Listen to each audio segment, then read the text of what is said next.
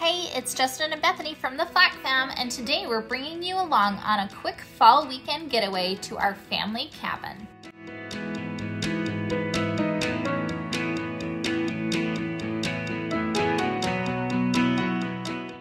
Typically, I say Utah has three seasons winter, mud, and sweltering. Sometimes, though, Mother Nature teases us with a little bit of spring or fall, but typically they don't last that long. Luckily for us this year, we got to see a fall like we haven't seen in a while. So, what better time to escape to the cabin and take it all in? If you've been following us for a while, you've seen this location before. It's a gorgeous little getaway in the Uinta Mountains of northern Utah, a little slice of heaven. Fall colors didn't disappoint. From bright yellow and deep reds, it was like living in an oil painting or an oversaturated photograph. Like we said, it was a short trip, and I wish we could have stayed longer, but Justin had been in Washington and Oregon on a business trip and didn't fly home until late Friday night. So we drove up bright and early on Saturday morning and decided to stop by Mirror Lake Diner, not far from the cabin. We love this diner. In fact, we might have shown it before. We first came here for the Monte Cristo sandwiches, but continue to come back for the rest of their amazing food and their friendly service. Seriously, they treat you like family. Almost everyone knows each other, and even if you don't, they make an effort to get to know you. Another thing that makes this diner fun is the way it's decorated. All of the photographs on the walls are shot by local photographers and are for sale.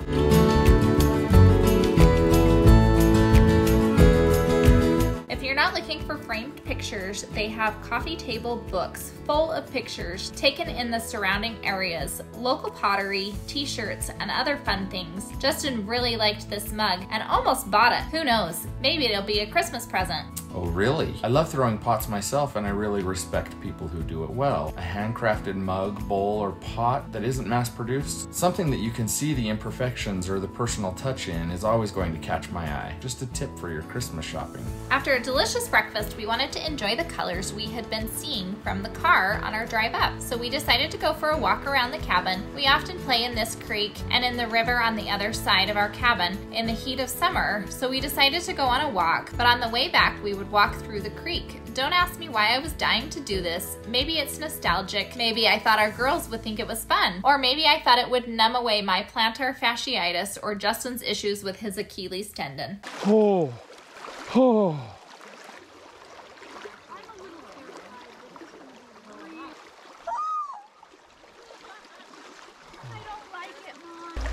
And then just step in. Why is it that when you get in the water and you're freezing cold and all of a sudden you have to go to the bathroom? you can hear it. You want to pee to make the water a little warmer. Everyone just stand by Dad while he pees.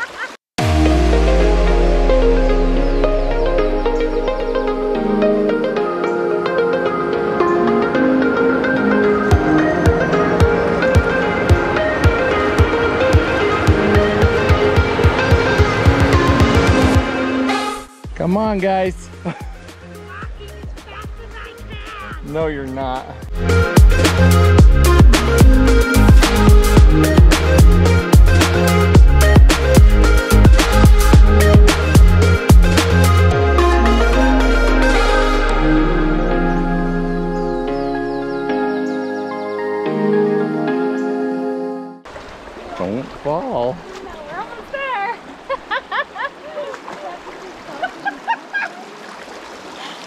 It would suck if you fell right here the last minute.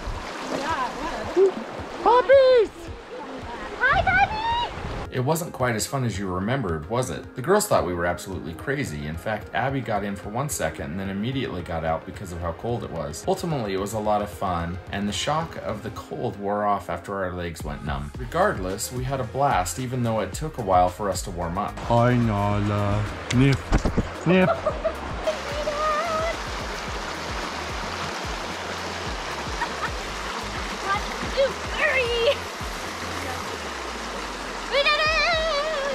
Oh, good.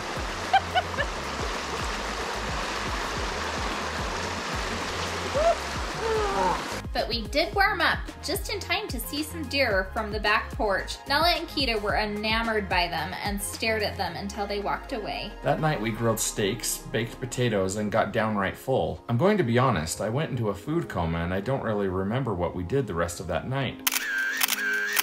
But what I do remember is laying down in bed, getting warm, and then being woken up by Kita because she thought it was time to wake up at 5.50 on a Sunday morning. Kind of reminds me of Lady and the Tramp. It did give me time to get the drone ready for a sunrise flight over the fall colors. I use our drone, but not as much as I'd like because of the restrictions that we run into in places we travel. So every time I get a chance to fly it, I have about 10 to 15 minutes of relearning where I get comfortable flying and then I get hungry to get creative with it.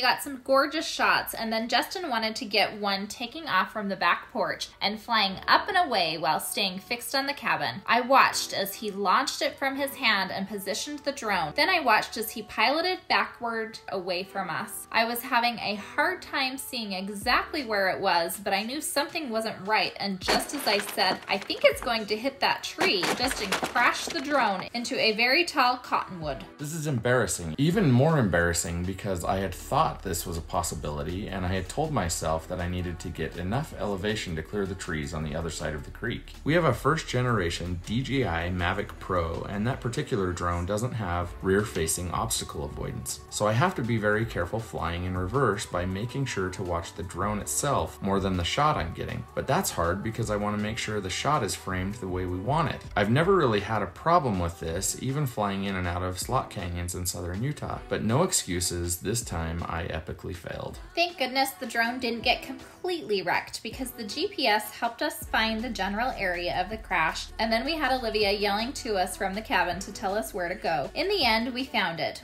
Will it fly again? Not with those props. But the drone itself seemed okay, and you can most likely fix anything that may go wrong with it, right?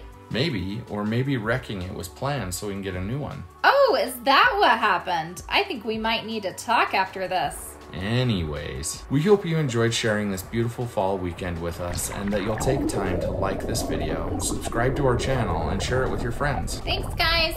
Bye.